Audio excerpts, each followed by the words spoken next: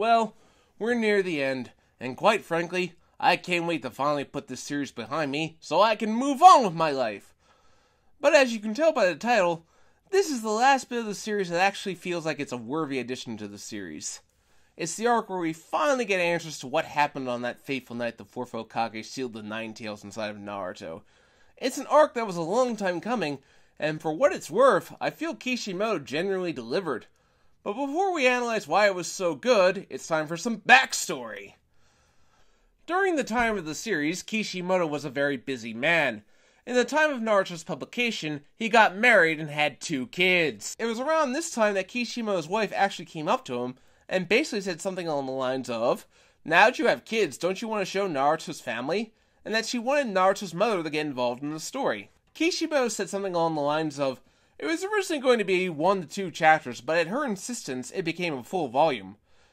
Wow, uh, do you not care about your main character's history? I guess because it's not Uchiha related, why would you? So, whatever the case, Naruto tells the rest of the Konoha kids to leave Sasuke to him. Tsunade wakes up, so we are spared Kakashi becoming Hokage. Oh boy, that reminds me of the ending. I'd be getting ahead of myself though, so we're not going into it yet. Remember Kakashi's line of being unworthy for the position. I will. Anyway, Naruto gets summoned by the Great Toad Sage, who tells Naruto his future that he will meet an octopus and fight a young man with powerful eyes, but Naruto cuts him off saying that he already knows all that, and yeah. I mean, you could have at the very least let him finish Naruto. It might have been useful info. But it's important because they give him the key to undo the Fourth Seal. It's finally time for Naruto to confront the Nine Tails. Meanwhile, Kabuto decides to form an alliance with Madara while showing a secret coffin that gets him a little nervous. The whole purpose of this scene is so Kishimoto could provide an army for Madara to fight with, which makes me wonder just what exactly was his plan? Kabuto came to him, not the other way around. Really, this was done because Kishimoto realized that he wrote himself into a corner by killing off most of his villains before the war arc, so he had to bring them all back to life so the army would have something to fight. For what it's worth, I did agree with Naruto's reasoning here that he needs to stop running from the Nine Tails' power, and he needs to embrace it if he wants to have a chance at beating Sasuke. Meanwhile, the Kage decide that the best thing to do is to hide Naruto and Killer so that Madara can't track them, which is stupid. Why would you not want to have your most powerful ninja on the battlefield? Let's bear in mind, Madara does have seven of the nine-tailed beasts already. But whatever the case, Naruto and Killer Bee finally meet, and let's just say I love this. Kishimoto finally gave me what I wanted. Two idiots interacting with each other, and it's hilarious. Anyway, Killer Bee agrees to help Naruto master his tailed beast and takes him to the waterfall when Naruto encounters another Naruto. It's kind of like when Luke entered the cave in The Empire Strikes Back and found himself in Darth Vader, a twisted mirror version of himself. There's a lot of potential here. Also, Dark Naruto's design isn't very original. Maybe it could have been like Dark Link, where he's basically just Link colored black with red eyes. That would have gotten the point across better. Anyway, Dark Naruto basically lectures Naruto about how he's so easily slayed by helping the villagers, despite them treating him like crap for years. That's part of it, but I was hoping we'd get more insight into Naruto's shortcomings, like what's going on with Sasuke. Is even worse saving? What's going on with Sakura, Kakashi, his feelings on Jiraiya being dead? Did he fail him? There was so much potential for some good character digging here, and it feels like Kishimoto wasted it. Anyway, we get a brief flashback as to how Bee gained control of the Eight Tails, which just serves as another Naruto Sasuke parallel, because 60% of Naruto's lore are Naruto Sasuke parallels. Anyway, random squid attack, which meant to show that Killer Bee is compassionate and that Naruto should be too. So Naruto goes back and pretty much talks his dark side down. Yeah, talk no jutsu, but in this case I don't mind it because I understand what Kishimoto was going for. Everyone has a light and dark half, it's the side we act on that determines who we truly are, and Naruto was accepting that his dark half was a part of him. So now Naruto finally confronts the Nine It's actually really well done, as Naruto must confront the evil of the Nine Tails Demon Fox, which has been said to be pure evil force. Just when it looks like Naruto will lose, but then the light comes in and it's Kushina, Naruto's mother. Kishimoto did a good job with her introduction. It's a good shift from comedy to heartwarming. Kushina helps Naruto take down the Nine Tails, and mother and son talk, and it's very nice. They're very similar in personality. Then Naruto asks Kushina how she and Minato fell in love. Yeah, I'm getting a bit off tangent, but fuck you, the last, for saying that Naruto doesn't know the difference between loving a person and loving food, despite clear evidence to the contrary in the manga.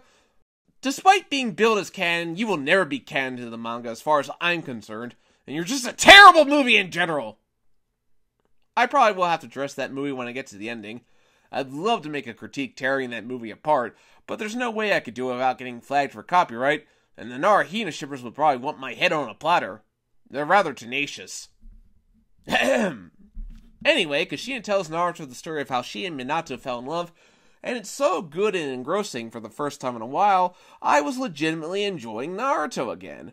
Helps that the loathsome cunt Sasuke isn't involved. There's a certain quality that comes out whenever Sasuke isn't in the picture. Naruto is both of his mother's and father's wills together, but now it's time for mother and son to get to work, and it's outright badass the way they subdue the Nine Tails, and Naruto gets the results of it with a what is basically a Super Saiyan ripoff. I mean, no, really, that's basically what it is. It was still kind of disappointing. We barely got to see him use Sage Mode, and Kishimoto's already giving him a new form. But before Kushina can move on, she's going to tell Naruto the truth of what happened that night 16 years ago.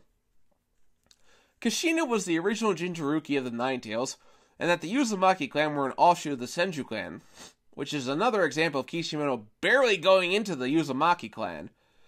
But anyway, Kushina tells Naruto that there's one moment where the seal is weakest, and it's during childbirth. Which means a male host will never have that problem, but I digress. Of course, Kishimoto put in a scene with baby Sasuke with their moms, hoping that they'll be friends, because of course he did! Anyway, the birth goes without a hitch, but then the masked man appears. Man, that is such an evil man. Such a great way of conditioning us to hate him. Really hope Kishimoto doesn't try to make him sympathetic. The masked man extracts the Nine Tails from Kushina, and he sicks it on Konoha, with only the fourth Hokage standing in his way. The action is so good, and we get to see why the fourth Hokage is so well known because he's so fast. It's just awesome to look at. They're able to get the Nine Tails sealed down, and Kushina, with her dying breath, says that she will take the Nine Tails into her and die with it.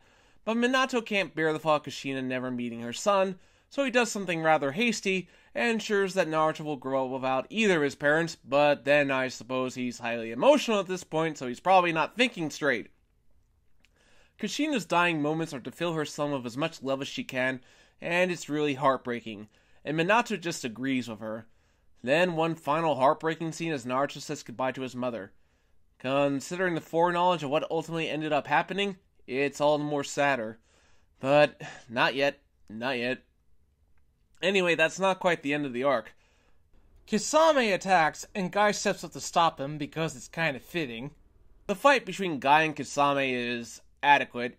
It's not my favorite, but it does its job well enough, and Studio Pierrot did an absolutely crap-tacular job in animating it, but that's one of their many failures.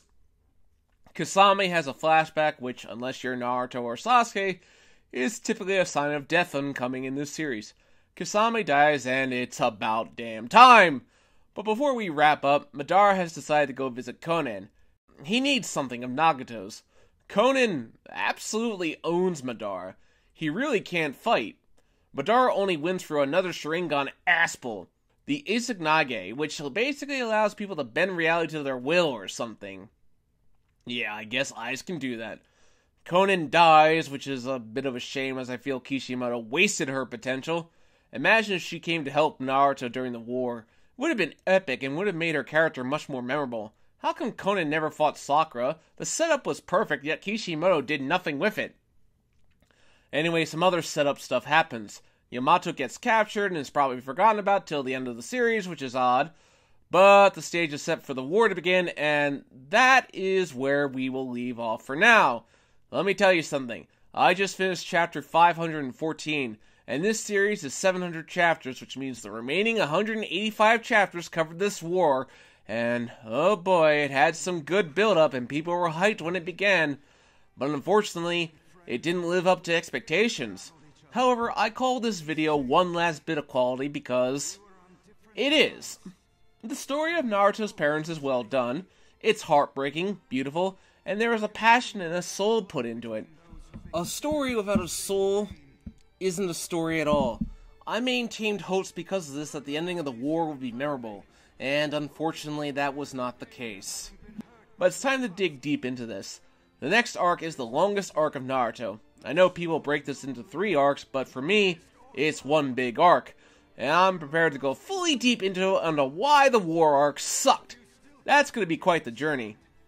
Anyway, if you've been enjoying these videos, please hit that like, bell, and subscribe button. It really helps me out. Thanks!「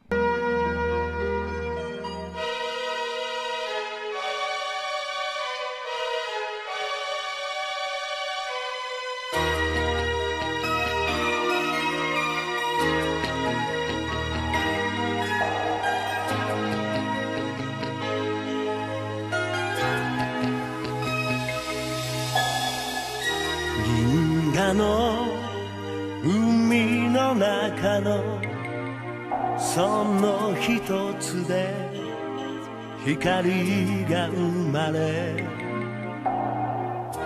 遥かな旅を続け僕の上に今たどり着く。